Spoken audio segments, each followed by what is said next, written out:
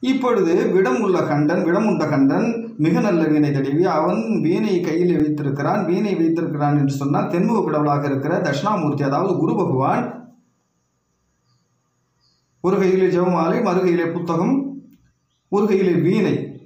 அதை தடவி கொண்டு உட்கார்ந்திருக்கிறார் சனகன் என்கின்ற ஒரு முனிவனுக்கு பாடம் சொல்லும்படியாக உபதேசம் செய்யும் பொருட்டு உட்கார்ந்திருக்கிறார்.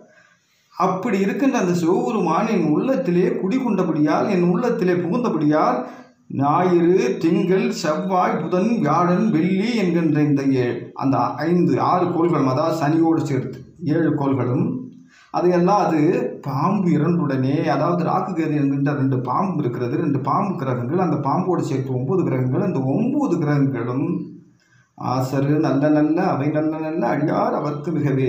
அதாவது எனக்கு ஆசர் ஒரு துன்பத்தை விளைவிக்காது அவை நல்ல நல்ல நல்ல நல்ல விஷயங்களாக எனக்கு எடுத்துரைக்கும் நல்ல விஷயங்களாக எனக்கு செய்யும் அப்பேற்பட்ட சிவபெருமான் என் உள்ளத்தில் இருக்கின்றபடியால் அடியவர்களுக்கு ஒரு காலம் துன்பம் நேராது என்ற செய்தியை முதல் பாடலிலே தெரிவிக்கிறார்.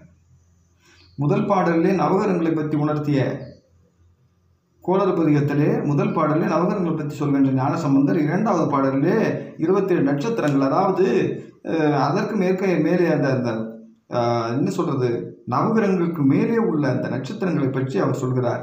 எண்கொடு கொன்பொடாமை இவமார்பிளங்க எரிதேறி ஏழையுடனே பொன்மதி மத்த மாலை புனர்சூடி வந்தேன் உளமே புகுந்ததனால் ஒன்பதோடு ஒன்று ஏழு எட்டு பதினாறுட்டாரும் உடனாய நான்கள் அவைதாம்.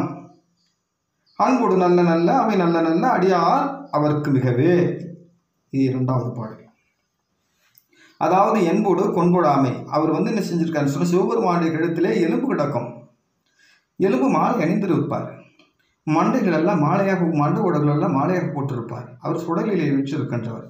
அப்பேற்பட்ட அந்த சிவபெருமான் சுடலிலே வீற்றிருக்கின்றபடியால் அவருடைய உடம்பிலே எலும்பு மாலையாக அணிந்திருப்பார். அதை இல்லாது பன்றியினுடைய கொம்பை பன்றியினுடைய கொம்பு என்று சொன்னால் அது வாயிலே இருக்கின்ற நீண்ட பல் சிங்கப்பல்லாக இருக்கின்ற அந்த பல்லையும் கழுத்திலே சூடியிருப்பார். அதை எல்லாவது ஆமை.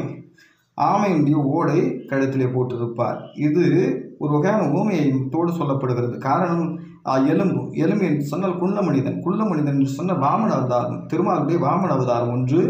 இரண்டாவது பஞ்சு என்று சொன்னால் கூர்ம அவதாரம் இது வராக அவதாரம். அதாவது ஆமைன்னு சொன்னால் கூர்ம அவதாரம். அதான் சொன்னார் இந்த பத்து அவதாரங்களே மூணு அவதாரங்களை சுட்டும்படியாக அந்த பாடலிலே முதல் மூன்று. அந்த என்போடு கொம்போடாமை இவை மார்பலங்க. அது மூன்றுமே மார்பிளை போட்டிருக்கின்ற சிவபெருமான் எருது ஏறி ஏழுடனே எருது எருதுன்னு சொன்னால் காலை வாகனத்து மேலே ஏறி அந்த இழையாக இருக்கின்ற உணவு பாகத்தான் அதாவது தி- உமாதேவி பக்கத்தில் வைத்திருக்கின்றால் பொன்பதி மத்தமாலை பொன்பதி என்று சொன்னால் பொன்னால் ஆக்கப்பட்ட ஒரு வகையான அந்த கொன்றை மலர்.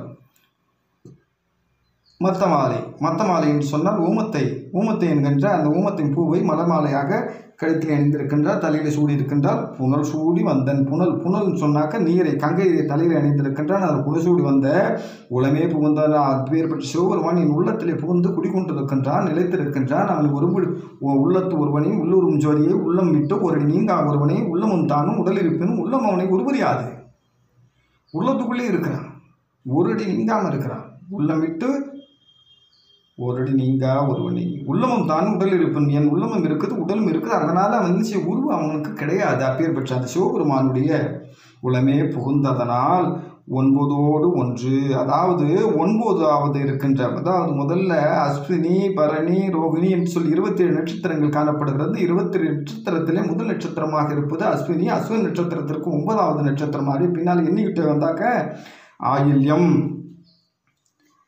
பத்தாவது நட்சத்திரம் ஒன்பதோடு ஒன்று ஒன்றுன்னு சொன்னால் ஒன்பதோடு ஒன்று கூட்டணும்னு சொன்னால் பத்தாவது நட்சத்திரம் மகம் சொல்கிற அந்த நட்சத்திரம் பதினாறு நட்சத்திரம் விசாகம் விசாகத்தோடு சொல்கிற ரெண்டு அப்படி கேட்டால் கேட்டைன்னு சொல்கிற நட்சத்திரம் ஆறாவது நட்சத்திரம் திருவாதிரை என்று சொல்கிற இந்த நட்சத்திரங்களை எல்லாம் தீதுரு நட்சத்திரங்கள். தீதுரு நட்சத்திரம்னா தீமை விளைவிக்கின்ற நட்சத்திரங்கள்.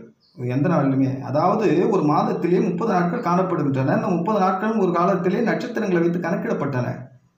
அந்த நட்சத்திரங்களை வைத்து கணக்கிடும் பொழுது இருபத்தேழு நட்சத்திரங்கள் இருபத்தேழு நட்சத்திரங்கள் சொன்னால் அஸ்வினி பரணி கார்த்திகன் சொல்கிற அந்த இருபத்தேழு நட்சத்திரம் கடைசியில் ரேவதிகளில் வந்து முடியும்.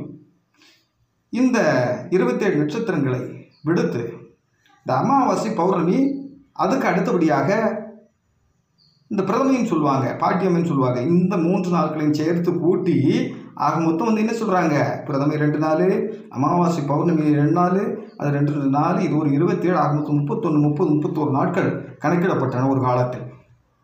இப்பொழுது இந்த இதயூர் நட்சத்திரங்கள் எல்லாம் என்ன செய்யும் தெரியுமா?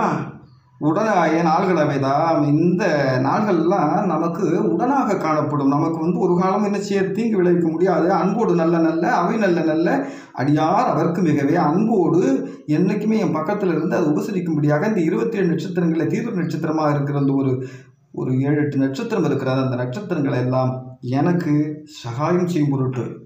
எனக்கு நன்மை செய்யும் பொருட்டு எனக்கு மட்டும் இல்லை சிவனடியார்களுக்கு அத்தனை பேர்களுக்கும் நன்மை செய்யும் என்று சொல்லி இரண்டாவது பாடலிலே வலியுறுத்தும் வண்ணமாக ஞானசமுதருடைய பாடல் அமைந்திருக்கின்றன. மூன்றாவது பாடல்.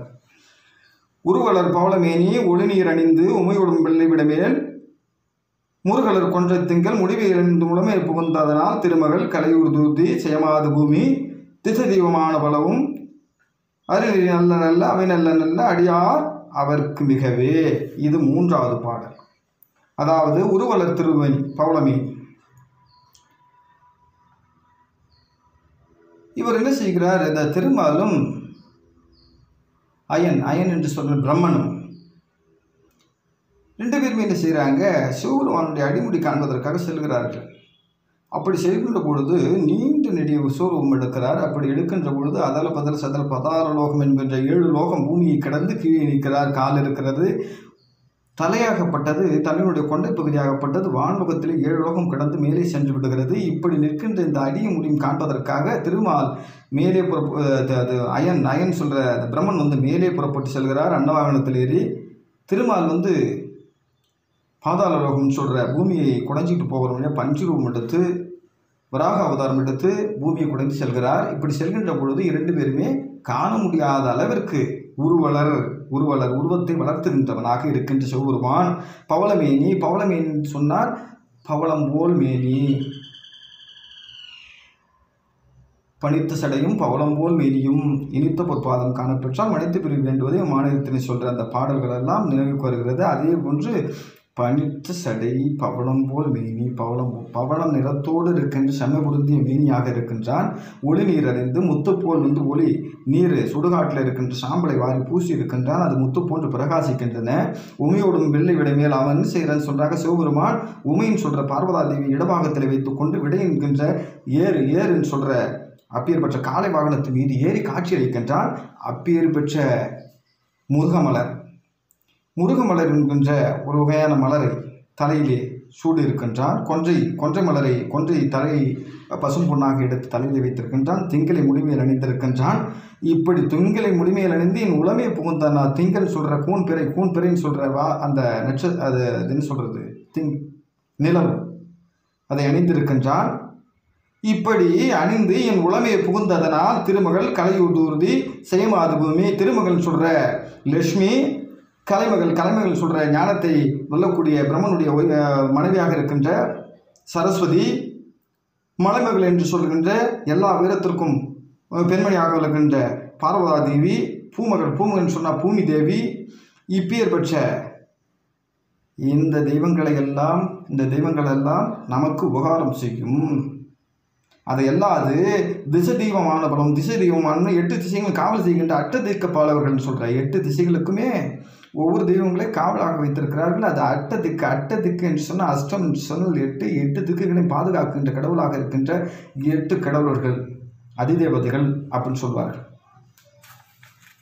இந்த தெய்வமானங்கள் அத்தனை தெய்வங்களும் அடியார் அருநெறி நல்ல நல்ல அவை நல்ல நல்ல அடியார் அவர்க்கு மிகவே.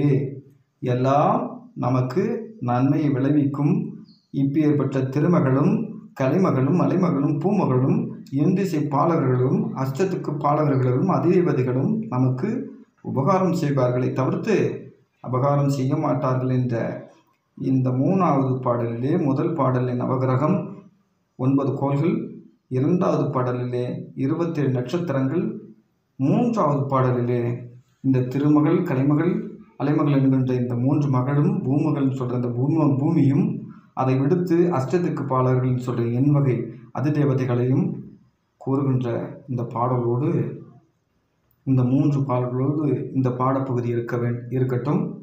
அடுத்த பாடப்பகுதியிலே மீத்தம் உள்ள இந்த ஏழு எட்டு பாடல்களை விளக்கத்தை காண்போம்.